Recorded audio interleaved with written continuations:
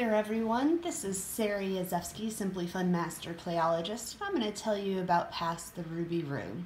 This is Simply Fun's um, language and reading game that is for age suggested for ages five and up, um, and it's a word association game based on letters.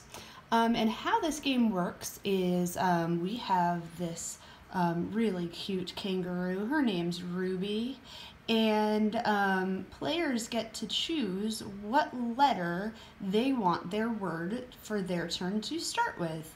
So um, let's see, my name starts with S, so I'm going to go ahead and put Rooby at the letter S. And so when, um, when I go to roll our nice chunky die that comes with this, I'm going to roll it, and it landed on the number 5 which with this small of a um, selection of letters won't really work all that well. So let's pretend that I rolled a 2.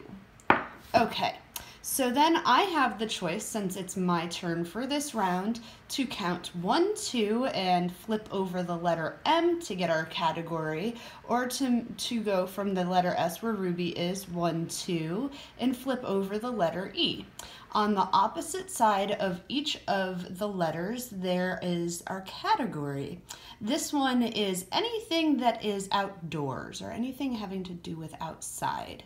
So um, everyone plays the word association part um, each round, regardless of whose turn it was to place Rooby and choose the letter and roll.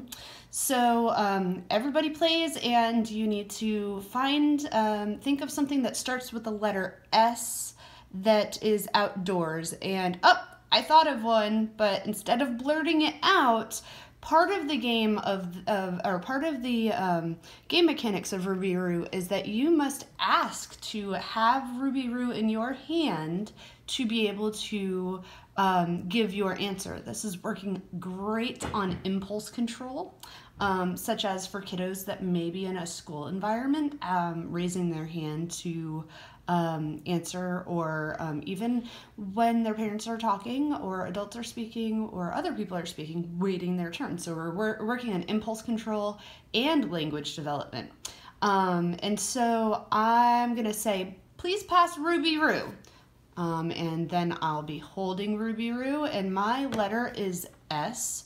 So I'll go ahead and say sunshine that is something that involves the outdoors. So I will go ahead and collect a ruby and um, for um, not only giving a correct answer but also making sure that I asked for ruby um, the, the kangaroo on my turn.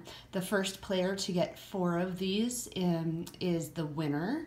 And of course, this game is um, modified currently um, because right now I have some pretty basic letters um, to have for the word choices.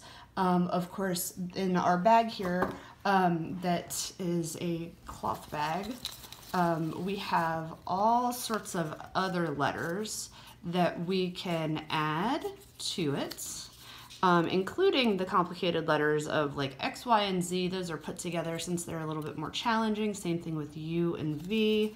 Um, and then we have categories such as things to eat or drink, um, vehicles or things that move, um, there are shapes and colors.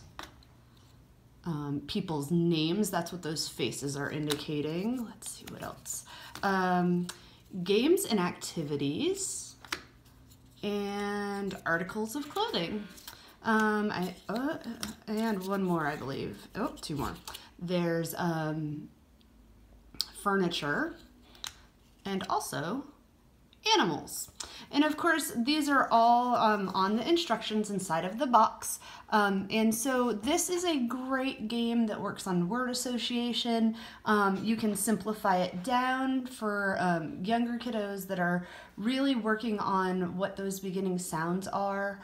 Um, and maybe even taking out those vowels and putting in the easier ones like a G and maybe, um, where was that T I saw, or an H um, or a W. So you can um, switch it up to whatever sounds that your kiddo is working on.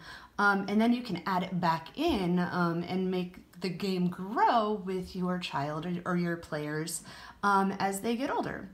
Um, a testimonial for Rooby Roo is I had a speech and language pathologist who had a kiddo that um, was uh, dyslexic and um, refused to even look at the alphabet. Um, that um, SLP um, purchased Pass the Rooby Roo from me um, and util- utilized it in her clinic. That little girl, when she walked in and saw the letters in game form, um, not only was excited but engaged for her entire 30 minute session and then the following week requested to play this game again. So this really opened up um, a new way for that little girl to experience um, the letters in a playful way that helped her to learn.